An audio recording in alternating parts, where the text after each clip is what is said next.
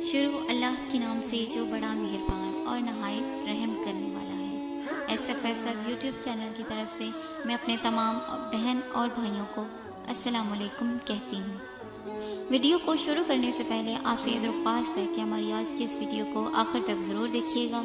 और अगर आपने अभी तक हमारे चैनल एस एफ़ एस को सब्सक्राइब नहीं किया तो बर मेहरबानी सबसे पहले इस चैनल को सब्सक्राइब कर लें और साथ लगे बेल के बटन को भी दबा दें, ताकि आपके पास हमारी मालूमती वीडियोस का नोटिफिकेशन बाकायदगी के साथ पहुँचता रहे।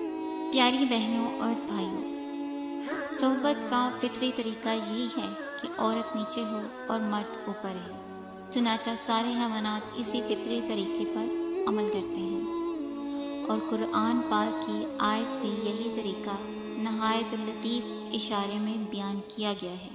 अल्लाह ताला सूरत इराफ की आयत नंबर 189 में इरशाद फरमाते हैं, जब मर्द ने औरत को ढांप लिया तो उसको हल्का सा हमल ठहर गया।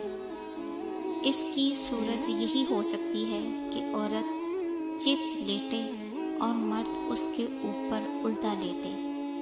तो इस तरह मर्द के जिस्म से औरत का जिस्म ठग जाएगा। इसी तरीके में ज़्यादा राहत और आसानी है। सोहबत के इस तरीके से औरत को ज़्यादा मुशक्क़त नहीं उठाना पड़ती। और ये तरीका इस तकरार हमल के लिए भी बहुत मुफीद है। शेख और रईस बू अली सीना ने भी अपनी किताब कानून तिब में इसी तरीके को पसंदीदा बताया है।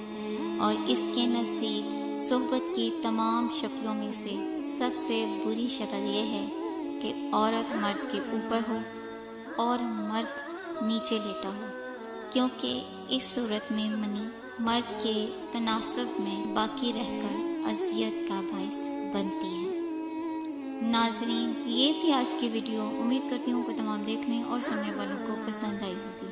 आखिर में मैं अपने तमाम बहन और भाइयों से ये गुजारिश करना चाहूँगी कि हमारी आज की इस वीडियो सदका जारिया समझकर ज़्यादा से ज़्यादा शेयर करें और मुस्तबिल में आने वाली तमाम नई वीडियोस को देखने के लिए हमारे इस चैनल एस एफ़ एस को ज़रूर सब्सक्राइब करें। जजाकल्ला